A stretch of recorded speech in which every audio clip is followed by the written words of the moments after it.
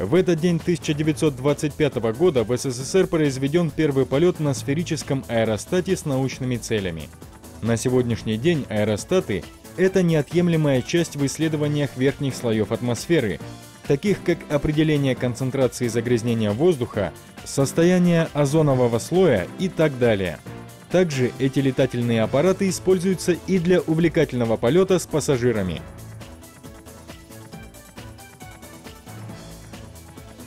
В этот день 2012 года во Дворце независимости в Астане открылась экспозиция работ художников ориентального искусства «Таинственный Восток». На выставке были собраны картины мастеров Казахстана, Ирана, Узбекистана, Туркмении и Китая. Экспонаты, олицетворяющие культуру, мудрость, философию и дух Древнего Востока. Экспозиция построена по правилам интернационального искусства –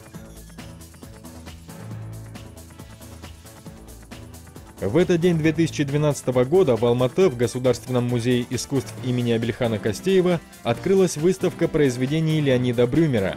Коллекция привезена из Жамбылского областного историко-краеведческого музея и представлена 70 произведениями.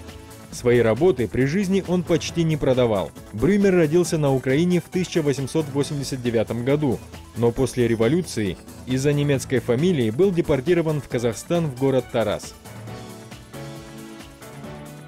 В этот день 2012 года с загадочной находкой вернулась с раскопок совместная археологическая экспедиция Семипалатинского государственного педагогического института и казну имени Аль-Фараби. Вблизи села Калжир, что в восточно-казахстанской области, студенты-историки исследовали древние захоронения, курганы. В одном из курганов исследователи нашли загадочные останки древнего человека –